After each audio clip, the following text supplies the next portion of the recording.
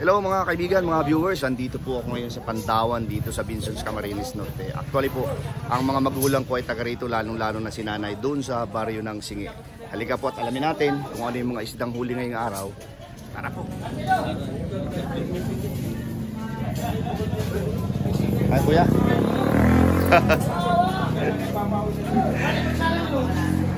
Eto po, pakita ko po sa inyo yung klase ng mga isda.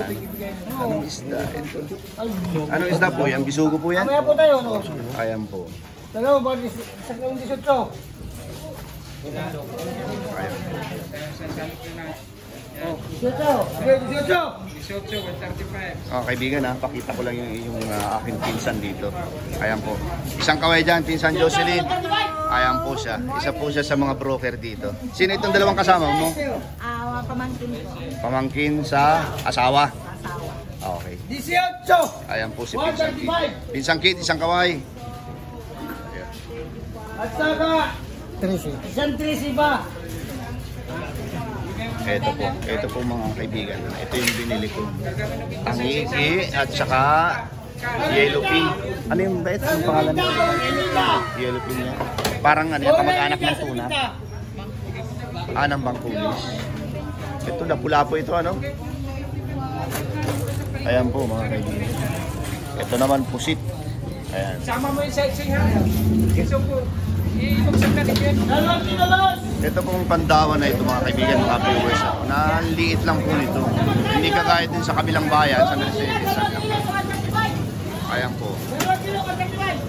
Tapos ulitin ko yung dito sa kadugtong, iilog to eh. Ito po siya. Ayan po, may may ah, mga magdi-deliver pa rin ng ah, isda. Kuya, mga tanong ko lang, yan bang mga isda yan galing sa laot? Laot yan. Oh. Ayan po mga kaibigan, mga viewers. Welcome to my vlog.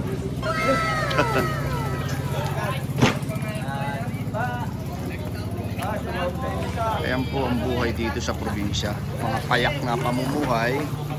Pero ayan, pero lahat po ng tao dito mapera. Ayan po siya.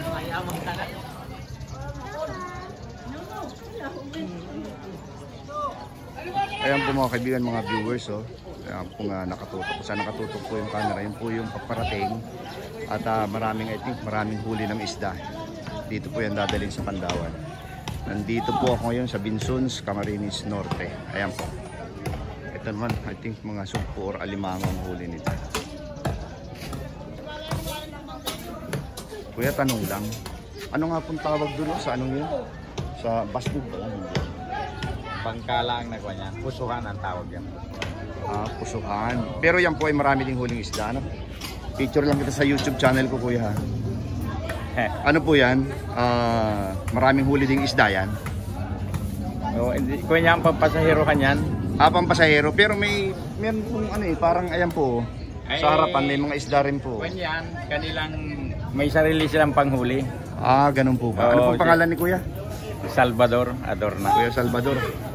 Ayan po pala, bigyan niyo ako ng idea. Ito naman, itong tinututukan ko ng camera. Yan may mga parang net na yan. Ano naman po yan? Ano naman ang huli niyan? Kasag at saka nukos. Kasag, yun yung, yung alimango, yung kulay green yan. Oo, yung alimasag. Oo, alimasag. Saka nukos. Yan ang Oo. yan panghuli. Pero bakit wala po pa yatang huli? Meron na din yan? Alis na yan sa kuha nagbinta na dito. Ah, so naibaba na? Naibaba na tapos na. Oo. Kaya Kuya Salvador, matagal na po ba kayong ano dito? Namimili din ba kayo o ano? Dati, kaya lang nung mag-pandemic, nagtigil na rin. Nagtigil ka. Oo. Pero nandito po kayo ngayon, bakit? Ay, dito ang bahay ko. Kayo? Pero meron ka diyang ano, yung bulong-bulungan na Ah, tinatawag wala. yun? Ah, wala ka dyan. Si Pinsang Kids po, yung naan dyan, si Hernandez, Oo. si Jocelyn, ay ano ko yun? Pinsan ko yun, isang buo ko yun. Ang nanay noon at saka ang nanay ko ay magkapatid. Ah, Ay hindi, ang tatay niya, si Kuya Biko at saka si Nanay Opin ko, magkapatid. Kapatid. Ah, Mga taga-singi kami. Sige. Oo. Ay, siya ang Kaya yun. broker dito. Siyang broker. Oh, yun na nga. Kaya nga sabi ko, birthday ngayon ng tatay, 75 birthday. Ah. ay bibili ako ng pang-ihaw. Kaya sabi niya, meron naman doon tangindi at saka yung yellow bean. Oo, marami silang guwan. Ah, Okay. Tatlo silang broker dito ay isang kapatid niya yung pamangkin niya, Toto, saka si Jewel. Oo. Ay dati nagbiyahe-biyahe din ako noon ay sakat nag-pandemic ay nagtigil na. Eh, yun na nga eh. Kumbaga sana, ito si Pinsang Kid, saka si Pinsang Jocelyn, ay nakuha ang patama sa buhay. Ayo. Oo. Tamo yung kapabubulong nila, gumanda agad ang bahay nila. Ay dati noon, hindi talagang kumita sila. Oo nga, yun na nga eh, napansin ko. Ginaanan nga namin doon eh. Talagang matatag. Ika na ang ganda ng bahay. Cake pa lang eh, ano na, Oo. pang-ulam na. Kasi ang kwan nila, yung hindi kayang bilhin dito, binabiyahe nila ng Malabon. Dati ako yung nagbiyahe ng Malabon yan. Opo. Sa kanya kumita naman ako. Ayun. po, Ay nung makatukoy sila, Oo. ay di sila nang lang ang nagbiyahe. Oo. Ang hirap mag ng biyahe nung mga nakaraang panahon. Itong may pandemic, ano? Oo, walang Oo. biyahe noon, kaya di ka pwedeng mamili. Oo, napakahirap talaga. Nung pagka-pandemic naman, siya din parang ang hirap na din magkuhan, di nagtigil na muna ako. Ito po mga kaibigan, mga viewers, ha, kasama natin si Kuya Salvador. Ito yung pinaka-last question ko sa kanya. Kung ano yung masasabi niya sa hanap buhay na ganito. Yung bubulungan ka, tapos kung magkano yung isdang dinala dito, ano po, ganun yun, Kuya Salvador, ano? Na kung talagang ah, pag nakuha mo ang patama, aasenso po ang buhay mo. Anong masasabi mo nga doon, Kuya Salvador? Ay makakon talaga magpabulong kasi yan, everyday nakita yan. Oo. Everyday pagkatapos, sa bawat kilo may patama ka na. Kung ang kuha mo ay 120, ang pabili mo ay 150 na. O ay di kung may kita ka. 30 na kagad yun. Oo, 30 bawat kilo yun. Oo, bawat kilo. O ay kung may isang tonelada ka. Kasi oo, ako nabili dito may isang tonelada nung araw. Hindi na yata uso dito ang face mat. Kaya ayan po, kasama para. Oo. Sige po, ano idagdag, anong iladagdag niyo Kuya Salvador? Yan ay ma-. Halos lahat ba ng mga ilan yung broker dito? Tatlo. Halos, halos lahat po ba yan? Eh, talagang umasenso ng uh, sabihin natin kahit konti lang sa Yung buhay. dalawa dati nang asensado si Kid at saka yung Yung isa lang ang hindi pa. Kasi umi, nag-uumpisa pa lang siya. Pero kumikita na rin talaga. Kumikita na rin. Ah, okay. Eh, kailangan mo din ng kapital dyan na mga Nasa magkano? Mga pinakamababa mo yan, 300,000. Kasi 300,000. hanggang tatlong araw mo yan, yung iba yan, yung bumubulong sa kanya, Oo. bukas ang bayad. Eh, yung Ah. kinuha niyang isda, dito Oo. babayaran niya. Oh, so Oo, pwede pala yung gano'n. Pwede yun, no? Kinaumagahan ng bayan. Yung mga magbibigay Tiwala lang po, ano? Oo, tiwala lang. Oo. Oh, kinuha mo ngayon, ano, nagkuha ka 5,000. Oo. Ay di, wala kang pambayad, bukas mo babayaran. Pero yung kinuha, pinabulungan mo, babayaran mo doon sa mga mga mangingisda. Kaya dapat may kapital kang mahaba-haba. Ayun, pala yun.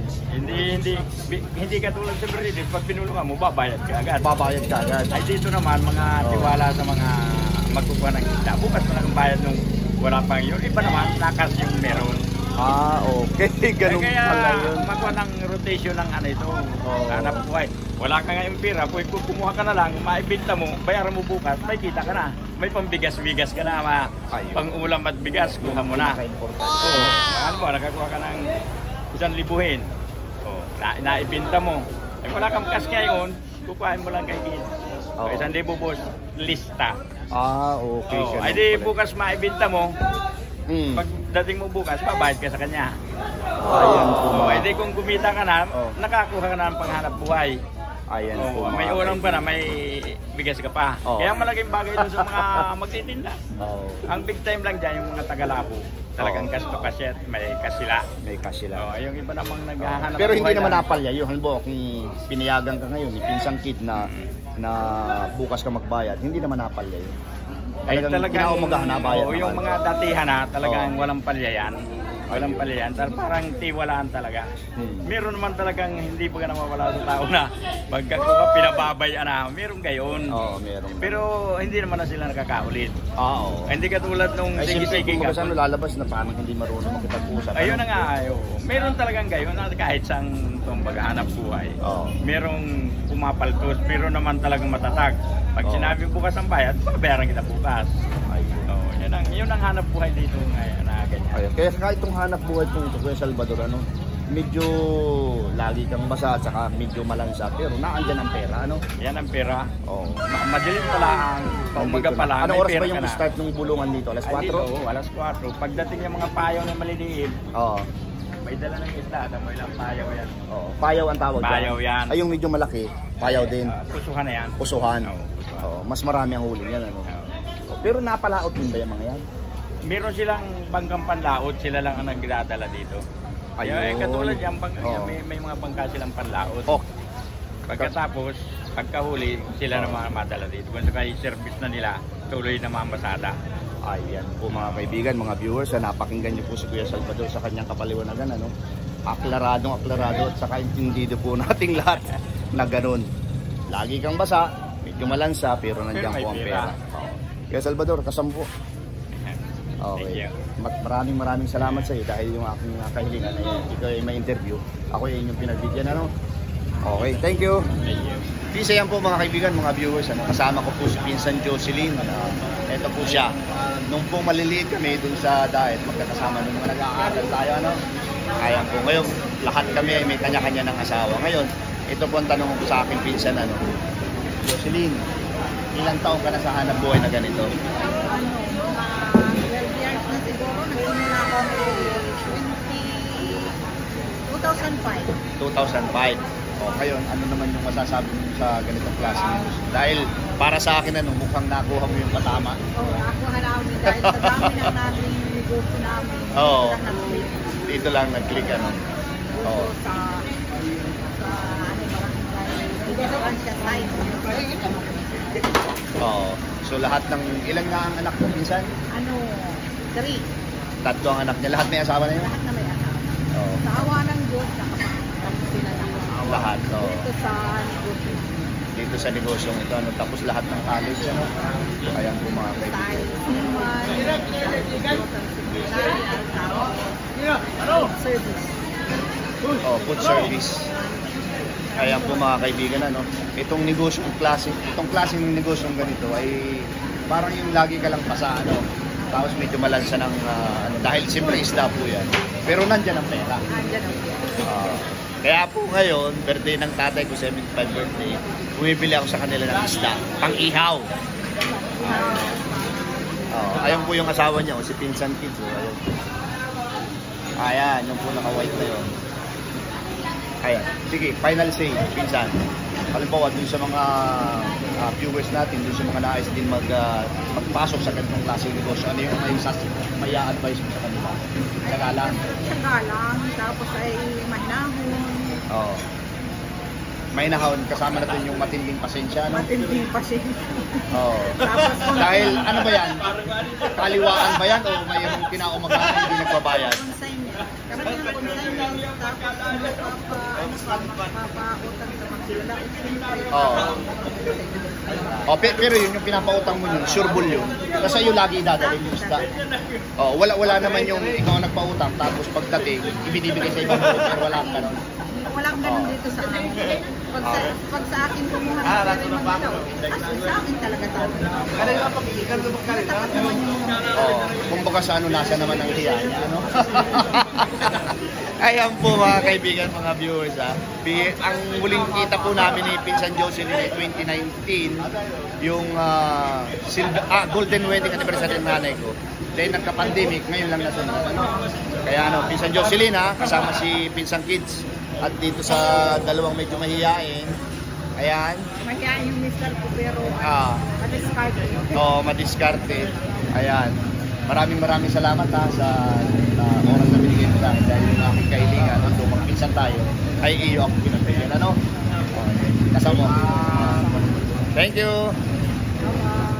Ayan po mga kaibigan, mga viewers, inyo pong napakinggan yung aking mga in-interview, yung aking pinsan at saka si Kuya Salvador kanina. Ayan po, mapapansin nyo po sa aking likuran, ayan po yung mga panghuli ng isda ng mga bangka. Ayan po siya. Ayan po. Kaya po sa maikling video ito, naway nagkaroon kayo ng idea, nagkaroon kayo ng kaalaman na sa ganitong klase ng hanap buhay, yung maging isang broker ka, pasaman, malansa, pero nandyan po ang pera. Ito po ang inyong kaibigan si Rodel na nagsasabi, huli man daw ng dating, nakikiuso rin. Maraming salamat po.